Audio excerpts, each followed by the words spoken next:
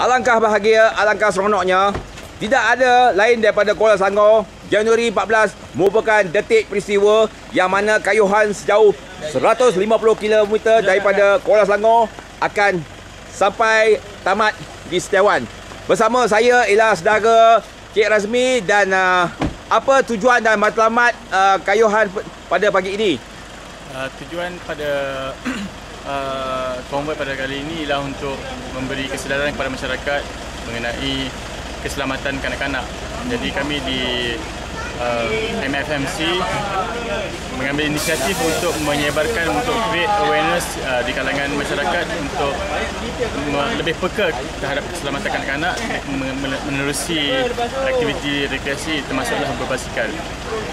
Dan uh, adakah uh, penubuhan uh, organisasi ini ataupun uh, apa yang dinamakan uh, telah pun uh, diwujudkan uh, lama ataupun uh, baru sahaja diwujudkan?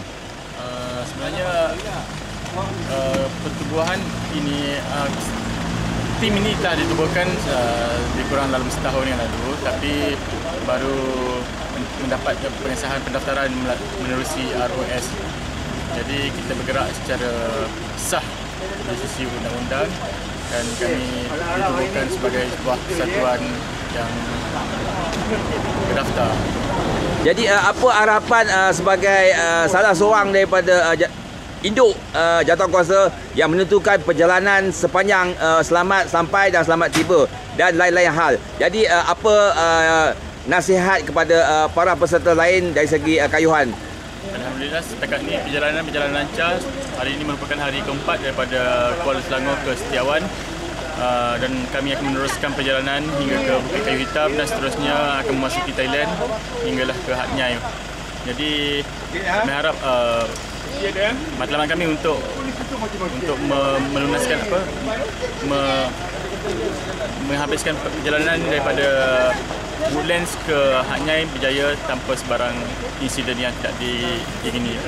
Saya bagi pihak uh, penduduk uh, sekitar kawasan perjalanan daripada Kuala Selangor sampailah ke uh, Setiawan uh, sangat uh, suka cerita dan bergembira kerana uh, Cik Razmi dan kawan-kawan Hafiz dan lain-lain uh, telah membuktikan dan telah menunjukkan uh, komitmen yang begitu tinggi yang mana matlamat objektifnya adalah untuk kebaikan bersama iaitu uh, missing children safety. Misi for missing children. Misi uh, mission for missing children. mission mission for uh, missing children. Uh, terima kasih diucapkan kerana uh, memberi kerjasama di dalam uh, rakaman ini. Terima kasih atas sokongan semua. Sama-sama. Kelihatan uh, ada beberapa pelumba lagi. Uh, mereka uh, sedang menunggu untuk uh, sarapan pagi. Dan uh, mereka uh, telah pun uh, bersiap sedia hanya menunggu untuk uh, kayuhan pada pagi ini dengan jarak 150 km.